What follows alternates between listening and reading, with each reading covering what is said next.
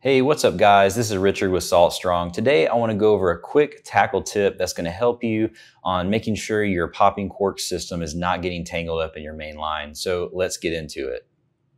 Okay guys, so one of the things that I see that's pretty common uh, when people are using a popping cork is having their main line getting all tangled up into their actual popping cork and that whole system. So today I'm gonna go over exactly how to fix that and what I do to prevent that from happening and have some pretty good success. When it comes to the system itself, it's very, very simple. So I continue to use, you know, just a regular braid to mono knot um, this is the FG knot. You can use whichever one that you would like. Um, and then I've got a fairly short butt section of monofilament.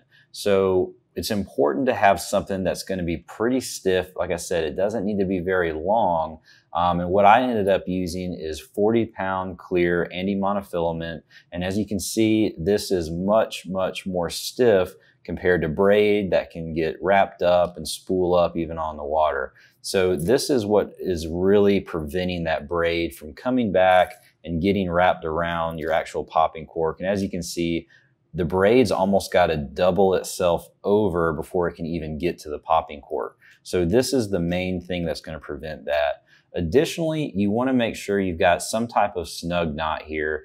Don't use a loop knot. There's no real reason to. And you're trying to actually limit the amount of movement that this has. Now, I know that there's a swivel on here and you could take that off and tie directly to it. However, I do like keeping the swivel because when you're throwing this popping cork all day, making pops and reeling it back in, this system is going to twist your line a little bit. So I do like keeping that on there. Just make sure you use some type of snug knot, fisherman's knot, something that's going to give you a little bit of resistance right here and keep that line pointed out.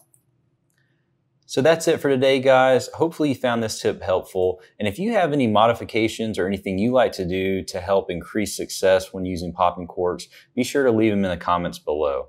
And if you're new to Salt Strong, just know that we're the best online fishing club for saltwater anglers, especially if you're targeting redfish, sea trout, snook, or flounder. There's nothing else like it, and we actually guarantee that you'll catch more fish while saving time and money. We do this by our premium education, the exclusive insider community, and huge discounts on all the tackle you need. To learn more, go to saltstrong.com. Otherwise, hope to see you again soon.